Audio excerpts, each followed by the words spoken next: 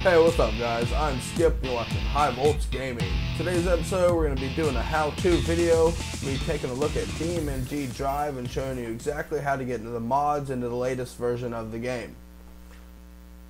So the first thing you're going to want to do is get the mods. So go ahead and uh, shoot on over to our Internet Explorer here. I'm going to leave this link for you down in the description below, it's basically beamng.com forward slash resources. That'll pull you up to this area.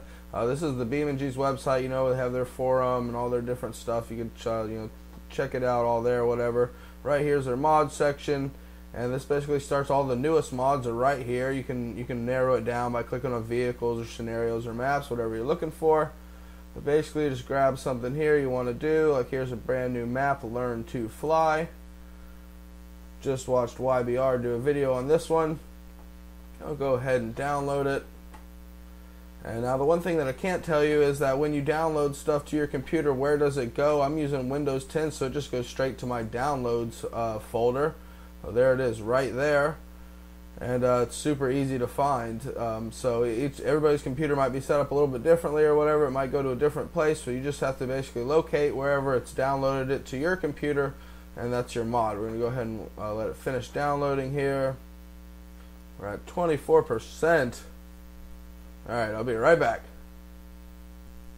Alright, well, it looks like we go. Uh, we got our uh, Learn to Fly map downloaded now.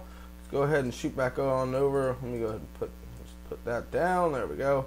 Shoot on over back to my downloads page. Like I said, wherever your mod is going to be downloaded on your computer, you need to find that. And with this game, that's all you need to do. You, uh, some games you have to unzip this, and I actually use the 7-zip uh, program to unzip my mods if you do need it. So that's uh, just a good piece of advice there. If you need an unzip program, just Google 7-zip, and that's a free program that works great.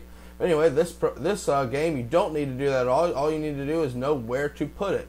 So uh, so with this game, it's super easy. You go to your Documents folder, and right here in your Documents folder, you'll find your BeamNG Drive uh, file folder here. Uh, this right here has all your other uh, kind of programs on your computer. This is where it kind of saves the save information, like Assetto Corsa are there and, and a different flight simulator games, stuff like that, and as well as all your other games that you've put on it too. But uh, for this one, we just want this BeamNG Drive folder, and then this pulls up this one, this mods folder right here is where you dump all your mods in. These are all the mods I have installed right now, and all you have to do is just grab it and pull it right on over into it. You can cut it, uh, copy and paste it, uh, drag it and drop it over there, whatever you got to do to get it in this folder, and that's all you need to do. It's super easy and, and it's a you know a super convenient way to do it. Now, before uh, an old way of doing it, which we don't use anymore, you can use this to maybe install the older versions of the mods if you want to try them. But usually, with the older versions of the mods, don't work with the newer version of the game.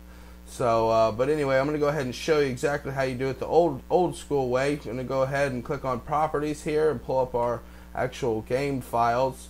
Uh, we're going to click on local files and browse local files. And that'll pull up our BeamNG uh, uh, file folder here. And these are all of our main game files. Now, before you would go to content here, and you would go to vehicles, and this is where all the stock game vehicles are. And you can drag and drop uh, your your uh, mods in here too. Uh, the way we used to do it is actually extract the mod and put the unzipped folder in this file folder. Now I, I can't I do see here like uh, SBR. Uh, no, that's that's a stock vehicle. So these are all stock vehicles in here. And like I said, this is the way we did it before.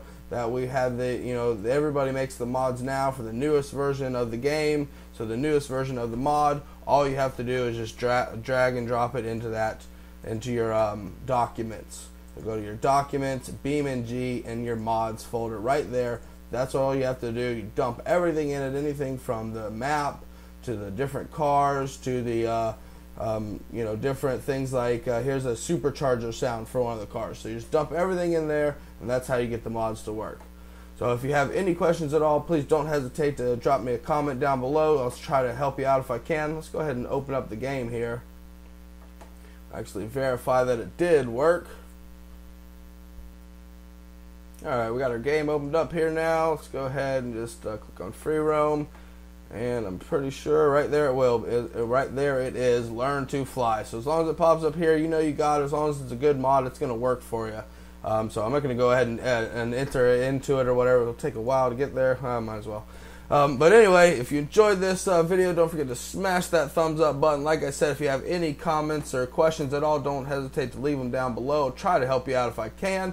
Let me know if you need any other uh, of these how-to sort of videos made. If you want to see something done or don't know how to do something, you know, let me know. I might be able to make a video for it, uh, for that uh, problem you're having or whatever. So, anyways, guys, I'm Skip, and I'll see you in the next episode. Where's my car? There you go. Learn to fly, Burnside. It's not doing it. It's not flying. All right, guys. I'll see you in the next one. Peace.